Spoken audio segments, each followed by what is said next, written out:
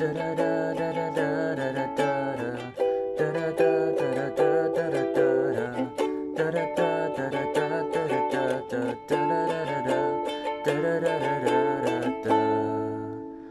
Cuco keeping tabs, we only need four chords.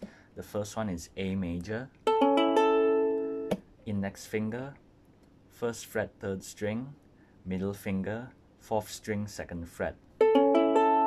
Next one is a E minor, index finger, first string second fret, middle finger, second string third fret, ring finger, third string fourth fret.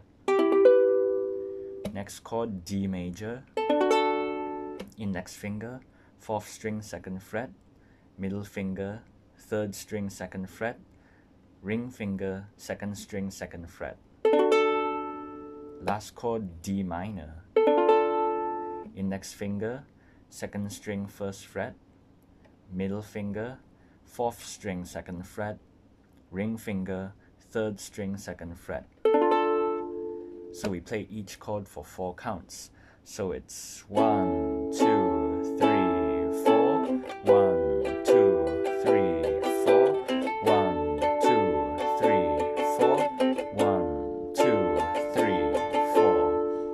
this song on an A major. So that's it. A major, E minor, D major, and D minor. That's it.